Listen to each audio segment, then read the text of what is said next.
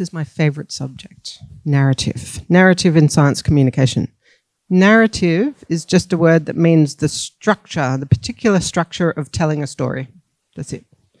All right. And here's some quotes to start off with. According to the narrative paradigm, humans are Homo narrans, storytelling animals who are persuaded to make decisions based on the co- coherence and fidelity of stories. I really like this quote from Oliver Sacks, who was an excellent writer and neuroscientist. Each of us is a singular narrative which is con- constructed continuously, unconsciously, by, through, and in us, through our perceptions, our feelings, our thoughts, our actions, and not least our discourse, our spoken narrations. And from a science um, educator, we are literally the stories we tell. So, what is narrative? Uh, so, as I said, it's simply the, the particular structure of telling a story, and it, it comprises a series of elements which include the setting. So, this is uh, um, the background, basically, the, the setting, the characters, a narrator, a series of past events in a time sequence, and a narrative structure. So, what is this narrative structure? Broadly, narrative structure consists of four elements. It's very simple an introduction, background, setting the scene. All right, so we know what, what, where we are, what's going on at the outset. Then you have a trigger or a hook. This, introdu- this is the introduction of a problem or a conflict. Okay? Um, so let's say, for example, uh, it's a Sunday morning. I've just woken up. I'm really looking forward to sitting around watching Netflix all day. I could get, I could do with going out for a cup of coffee first. So I go out the door. Oh, and just as the door shuts behind me, I realize I haven't brought my keys. There's the hook. Now we're thinking, what's going to happen? How's she going to get back inside? So on. Okay, there has to be a hook. Then there's a series of events, actions that take place in order to address the problem. I had to go next door to my neighbor and wake her up. I didn't know her very well, but she let me in and then she made me a cup of coffee. We sat down, we had a great conversation. All right, a series of events happen. And then later on, my flatmate come home and uh, I was able to get back inside. And it was a really good day because I didn't sit around watching Netflix. I got to know my neighbor. It was fantastic. So there's a resolution that usually reveals a moral. So that wasn't a very interesting story, but there's a there's a conclusion to the story. I got to know my neighbor, and that was better than sitting around watching Netflix all day. So four elements, and um, Haven, who wrote a book on um, on storytelling, uh, and in particular in relation to science, summarized narrative structure this way: a detailed character character based narration of a character's struggles to overcome obstacles and reach an important goal. All right, now some scientists are a bit cautious about adopting storytelling in science communication because maybe they're uh, worried about the link with fiction. All right, and storytelling doesn't necessarily mean fiction. You can tell factual information using a narrative structure. Um, but it, it's also quite often from uh, far from their usual means of communicating, which is just explaining how things happens in a in a factual way. All right, but and and there is one uh, there is one element of narrative structure or uh, narrative um, uh, that can be a little bit challenging for scientists, and that's the role of character. So it's great. It's really it makes narrative much better if you have a character, which is a little bit um, sometimes a bit more challenging with science communication because it's usually not about people; it's about things or processes. So but if you can find a way to bring character into, into the story, if you are part of the story, for example, or somebody else, or even making something in the story a character in a way, then that can be useful. But aside from the issue of character, science actually fits quite well into this structure. Um, okay, so um, so you can see that if you think about a scientific publication, for example, you always have a background, an introduction, you set, set the scene of the context in which you're working. Then you have to have some kind of hypothesis, a problem that you're trying to address. There's your trigger, okay? Um, then you have a, a, method. This is how you approach the problem. You did this and then you did this. This is a sequence of actions, all right? here it is. And then finally, you reach some conclusion, okay? Or something happens in the end, it gives meaning to the whole, there's some change. So actually, science often fits fairly well, if you think about it, into a narrative structure. So, okay, we can put science into a narrative structure, but why would we? All right? Okay, well, stories are the primary way that humans have communicated for millennia. And various studies have concluded that this is related to the way our brains work. It's the way uh, storytelling is related to the way the brain processes, structures, and interprets information. Um, lots of different research suggests that story structure matches our human neural networks. It's how we make sense of the world from birth, and it's common across all cultures. And what this means that narratives is just not a, is not just a style of communication. It's actually fundamental to the way that, our minds work. Storytelling appears to be an integral component of what makes us human. So, communicating using a narrative structure, by doing this, you're making it much easier for your audience to understand and engage with you. And the science supports that. Um, so, various studies have shown that, in contrast to ex- an expository structure, where, for example, I stand up here and tell you, oh, this is what the, the, the science is, I just explain the facts to you uh, that that narrative is more engaging, it's more enjoyable, it's more memorable, it's more persuasive, and it's more quickly and fully comprehended. People tend to become lost in a story. They imagine themselves as a part of it.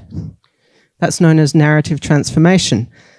And uh, in one study, uh, individuals who reported being narratively transported into a story about climate change experienced higher empathy and they were more likely to exhibit story consistent beliefs and pro social behavior in real life. That means that those people who felt connected to the stories were likely to act. And this is particularly the case where emotional narrative is used. Excuse me. Yes. Uh, could you explain uh, what you mean by uh, expository structure of communication? Yes. So this is expository structure is just simply describing things. Okay. Um, so um, if uh, uh, let's say I'm talking about a uh, scientific publication on a geoscientific data set, then I would describe that um, our intention was to carry out this survey. This is how we did it. These were the results. Uh, these are the conclusions that we reached. Uh, with a narrative structure, I might incorporate myself into the story more. Um, I might focus on what was a real challenge here. What was what was actually the big problem that we were trying to solve. Um, so it's more of a story. Expository is just a simple explanation of the facts. Yeah. Okay. All right. Um, I'm going to tell you a story here, and you've probably gathered by now why I've told you a few stories today. Um, a few weeks ago, I was at a friend's house in Brussels with her family, and her mother told me a story that I found upsetting. She told a story about how a migration centre in Brussels with hundreds of migrants, including lots of migrants from Ukraine fleeing the war, where all of these migrants had just been turned out onto the street for a period of four days because of some bureaucratic issue that they meant, meant that they had to close for a few days. And these people weren't given anywhere to go.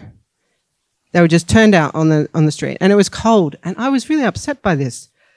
And when I was going home later that evening, I was taking the metro. A man in the metro approached me and asked me for some money and said that he hadn't had anything to eat for a couple of days.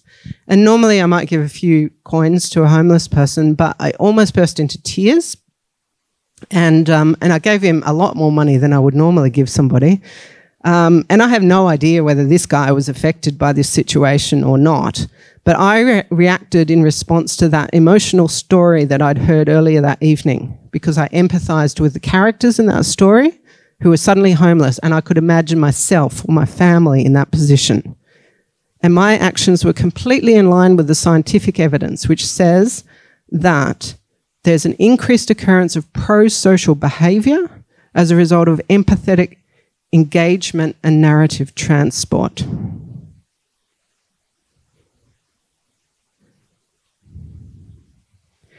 This um, uh, getting lost in a story, feeling that you become part of it, is known as the narrative effect.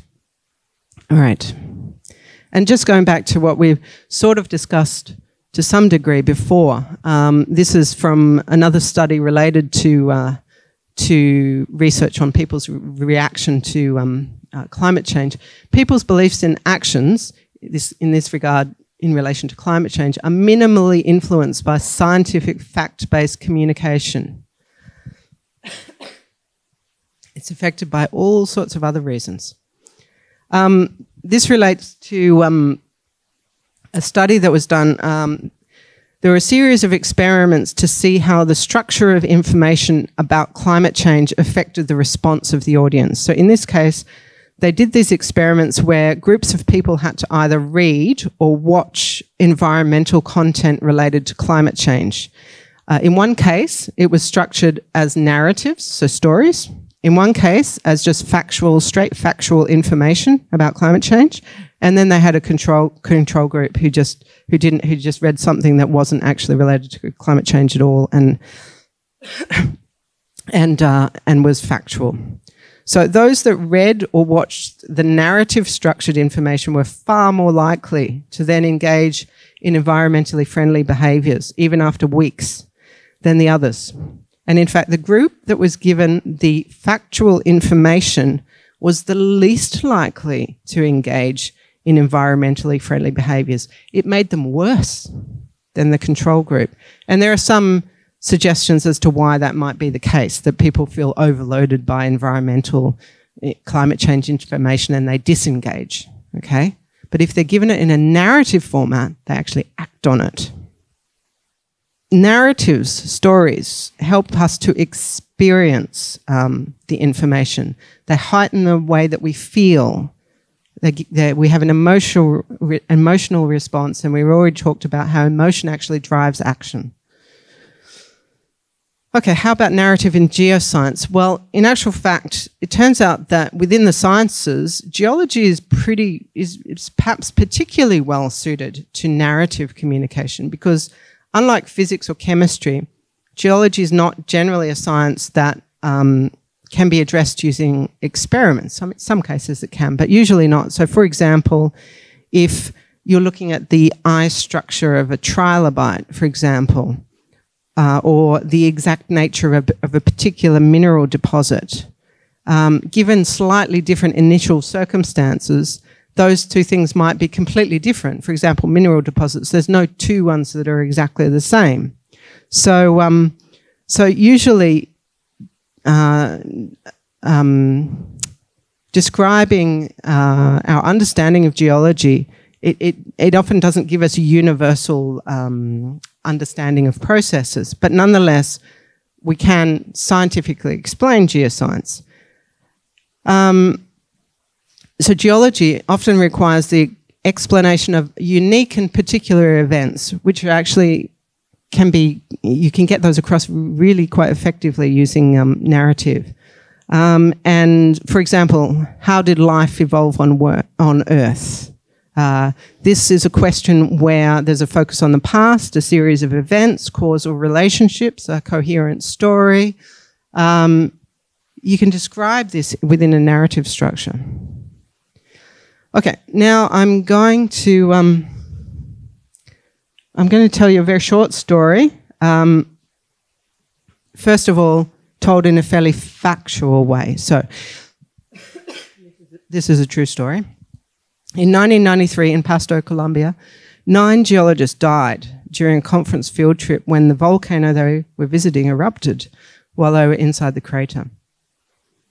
Critics argue that the expedition leader, Stanley Williams, who was also badly injured in the eruption, should have known that the danger level was too high and should have had better safety measures in place. Only two expedition members wore hard hats. Williams also did not take into account a new seismic method presented at the same conference that showed evidence that the volcano was on the verge of erupting.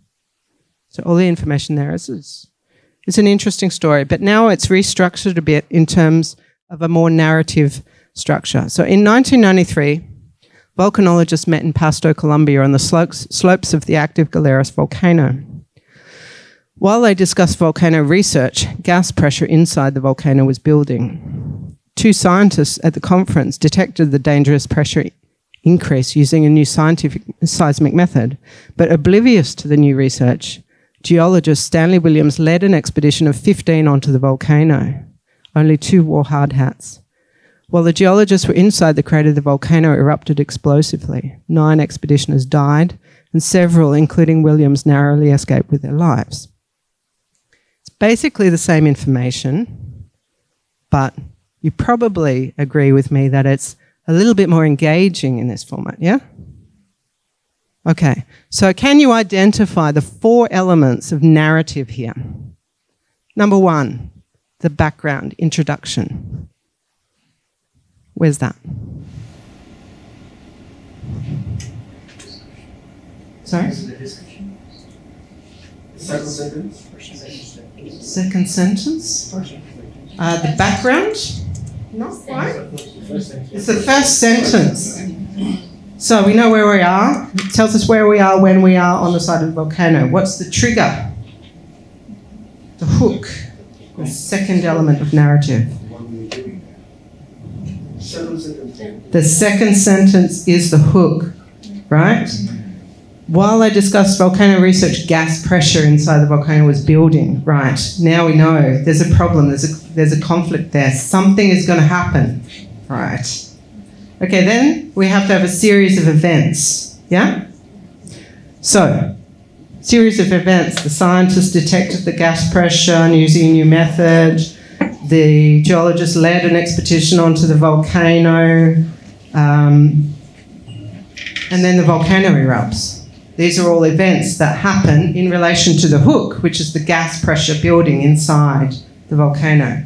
And finally, the fourth element, element the, the resolution, the change. Yeah? So the last sentence. The last sentence. Nine expeditioners died, including Williams, and some na- who narrowly escaped with his life. That was the conclusion. Four elements in the right order gives a much stronger engagement. Okay? It's still the same information. So there are the four elements. If you can put your, just try and reframe your communication into a narrative structure. You don't have to make things up, you don't have to over dramatize. But if you can put it in the right order and make sure you've got each of those elements, you'll find that's easier to connect. All right. Um, in the interest of time, I am going to skip this part. But um, you will get this in your notes, and this relates to um, studies of what actually makes uh, news newsworthy. Okay, uh, these are in order of uh, um, importance in terms of analysing news stories, seeing what newspapers or news um, outlets recognise as being the most newsworthy themes, and this may help you and again, I'm not telling you to try and push your information into any one of these, but if you happen to find that, for example, you have a celebrity involved in something to do with your science, or uh, there's an unexpected result, uh, for example, then these are things that you can use to push forward in your communication because people will be more interested in them. And journalists, in particular, will be more interested in them. This was this is actually quite an old study from 1965, but it's um, uh, well established in the journalistic community as um, uh, as standing the test of time. And more recently, another study along the same lines came up with very similar results and also identified some new elements um, that uh, that are particularly newsworthy. As is perhaps not unsurprising, bad news is, uh, is newsworthy, but so is good news as well. Cures for diseases, for example, things like this. Rescues are really newsworthy. The magnitude, the element of surprise, and so on. But uh, I won't go into it now because I, I, don't want to use too much time.